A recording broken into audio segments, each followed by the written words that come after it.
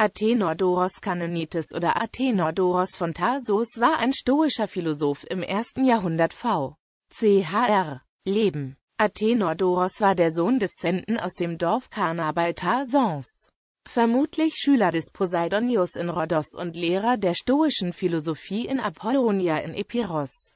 Er wurde von Kaiser Augustus nach Rom gezogen mit der Erziehung seines Neffen und späteren Adoptivsohnes und Nachfolgers Tiberius betraut und auch von Augustus oft zu Rate gezogen.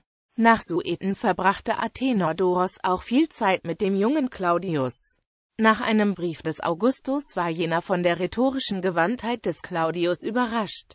Der Geschichtsschreiber Cassius Dio erwähnt, dass Athenodoros von Augustus hochgeschätzt wurde.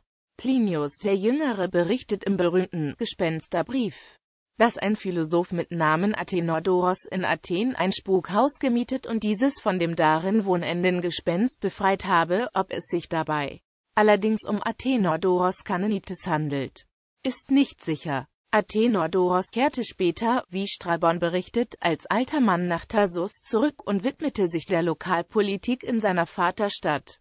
Seine Verdienste, die er sich durch Einführung einer Gemeindeordnung um diese Stadt erworben hatte, wurden noch lange nach seinem Tode durch einen Opferdienst gewürdigt.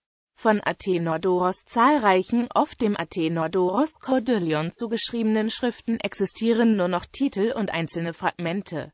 Er widmete auch Octavia meiner, der Schwester des Augustus, ein Werk.